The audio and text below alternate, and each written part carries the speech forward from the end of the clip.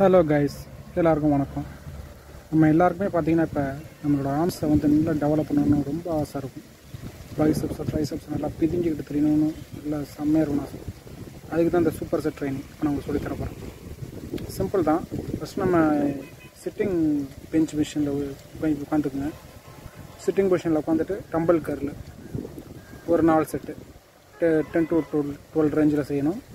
அடுத்து அந்த பெஞ்சை அப்படியே சிட்டிங் பொசிஷன் வச்சுட்டு அப்படியே dumbbell back extension triceps workout அது ஒரு நாலு செட்டு இது டம்பல் கரில் ஒரு செட்டு முடித்தோன்னா டம்பல் எக்ஸ்டென்ஷன் ஒரு செட்டு முடிக்கணும்.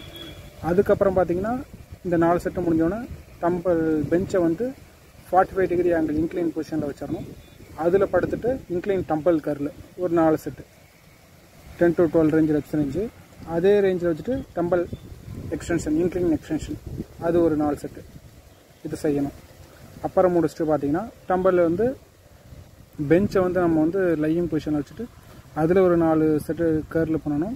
அடுத்து அதே எக்ஸ்டென்ஷன் பண்ணணும். இந்த ஒர்க் அவுட் பண்ணுங்கள் செம்மையாக உங்களுக்கு ஃபீல் கிடைக்கும். என்ஜாய் பண்ணுங்கள்